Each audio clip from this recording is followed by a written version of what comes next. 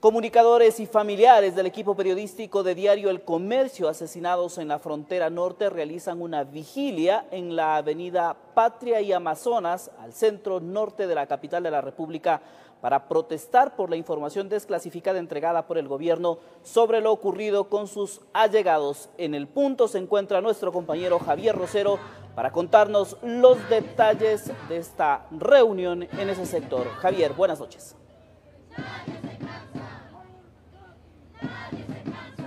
Amigos, muy buenas noches. Así es, nos encontramos en la avenida Amazonas y Patria, donde justamente como ustedes pueden observar en estos instantes, se han dado cita acá los familiares de los compañeros periodistas de Diario El Comercio, Javier, Paul y Efraín, quienes en este preciso instante están frente al Hotel Hilton Colón, donde se lleva adelante las reuniones de la CIDH para eh, esclarecer un poco estas acciones que el gobierno nacional habría tenido con respecto a la responsabilidad de la seguridad de los periodistas de Diario y Comercio que fueron hacia Mataje Esmeraldas. Antes de justamente de que se brinde una rueda de prensa acá por parte de comisionado para la libertad de expresión de la CIDH, Edison Lanza, la ministra Rosana Alvarado, ministra de Justicia, en esta cartera de Estado brindó una rueda de prensa donde ella se pronunció al respecto de esto e indicó que toda la información será entregada a los familiares y a la CIDH, pues así lo solicitan,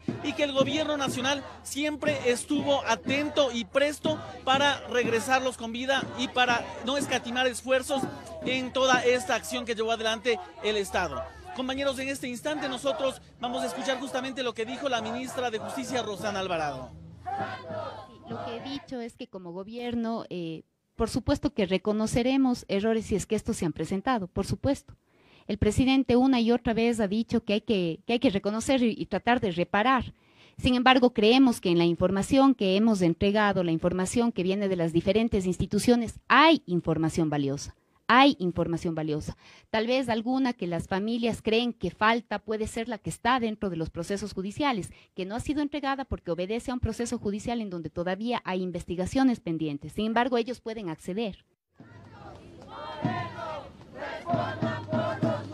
Compañeros, en esta misma reunión donde estuvo presente la ministra Rosana Alvarado, el secretario de Comunicación y también el relator para la libertad de expresión de la CIDH, justamente Andrés Michelena, secretario de Comunicación, indicó eh, un mensaje que le habría dado el presidente de la República, eh, Lenín Moreno, con respecto a esta situación de la información referente a los periodistas asesinados en Ataque Esmeraldas. El presidente de la República le habría indicado que no se escatimarán esfuerzos ni se ocultará ninguna información que se necesite para que este hecho se esclarezca. Escuchemos lo que dijo el secretario de Comunicación. Hay un mensaje que el presidente me ha pedido que lo transmita, es que no se escatimará ni se permitirá que ninguna institución ni ninguna instancia pública oculte ningún tipo de información. Y que eso quede claro, si la información que se ha entregado no ha sido completa,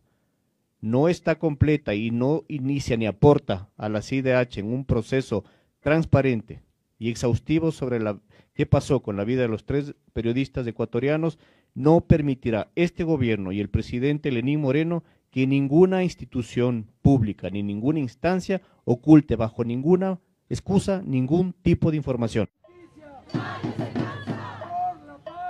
Justamente estas palabras a 5 de la tarde y posterior a eso a las 6 de la tarde, acá justamente en la avenida Amazonas y Patria, eh, dio una rueda de prensa el relator para la libertad de expresión, Edison. Eh,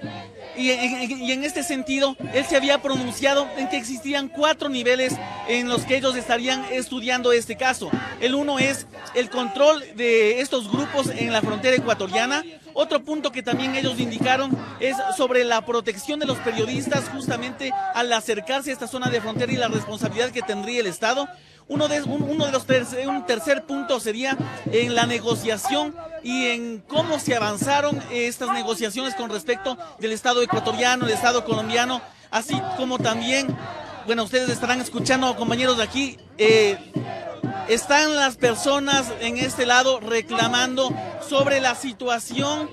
de la investigación de los compañeros periodistas secuestrados y también hace un momento acabaron de indicar que esta, este plantón se lo hace por todos aquellos que sufrieron esta delincuencia narcoterrorista del grupo de Oliver Sinisterra. En este instante vamos a escuchar lo que dijo el relator para la libertad de expresión Edison Lanza. Acá en el Hotel Hilton Colón se encuentran reunidos y que estuvieron conversando también con los familiares de las víctimas de este caso. Quiero descartar, digamos, eh, mala fe, no, no, no estamos hablando acá de mala fe por parte del, Estado, estamos hablando de lo que nos encontramos y, a qué aspiramos este, conocer en materia de información. Y también creo que hay que reconocer, y después de estas 48 horas de trabajo, de que el Estado es complejo y hay muchos organismos aquí involucrados en este episodio. Eh, el Comité de Crisis entregó una serie de informaciones que consideraba que podían ser entregadas y no habían sido públicas y podían ser entregadas a los familiares, pero que también nos hoy hoy en la mañana nos confirmó que hay otra información que no había entregado en estos sobres y que sí están obran en, el expediente de la fiscalía que investiga el caso y que como está bajo la reserva de la indagatoria ellos consideraban que este, tenían que eh, respetar en ese caso la indagatoria que lleva el fiscal adelante. Sin embargo, el fiscal ya nos adelantó que eh, los familiares están teniendo en estos momentos acceso a toda esa información y que también el, grupo de seguimiento va a tener acceso a toda esa, esa información.